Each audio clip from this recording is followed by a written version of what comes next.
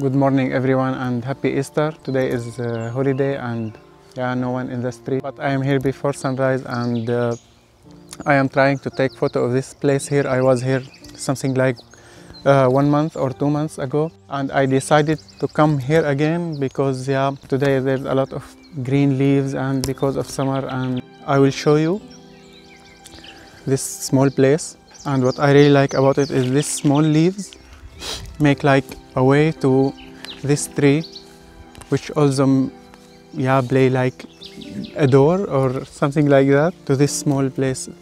So this is the photo i'm trying here. I like this tree to take this tree together with yeah this place. Maybe i will go to focus stacking because the tree is in the foreground and i want the background to be sharp also so maybe I will take two or three photos focus stacking. I will also use, uh, I hate this word, polarizer. Yeah, that's really amazing in, in the spring or in summer. Yeah, it gives saturation to the green leaves. So I am shooting f 9.5 and 4 seconds and, and the first photo I am focusing on the tree. So this is this is the first photo focusing on the tree and I will go a little bit deeper. Sure I will zoom in and be sure that the sound of the, the birds are just amazing. You, you, yeah, you think you are in a big forest but you are in a very small place in the city. yeah, as you can see the sunlight just start hitting the trees and yeah I will try to to take this photo again the same photo. I will stick here. I will try to take the same photo when yeah the sunlight hit the trees here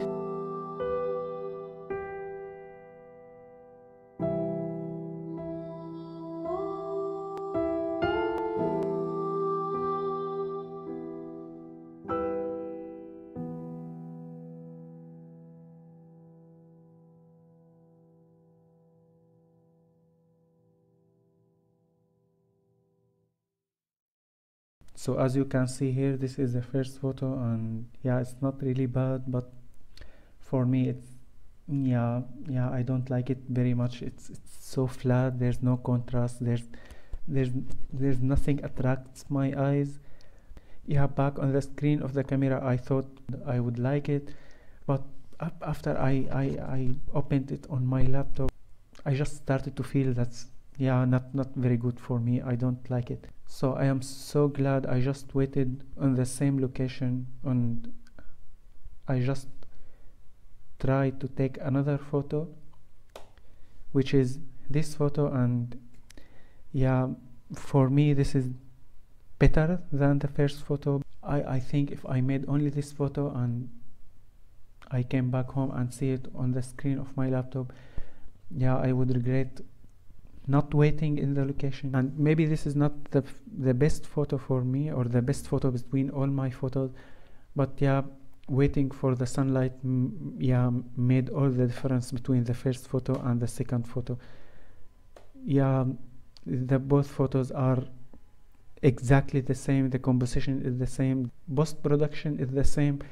The the the only difference between them is here is a sunlight and here is without a sunlight and that that made the whole difference between the both images.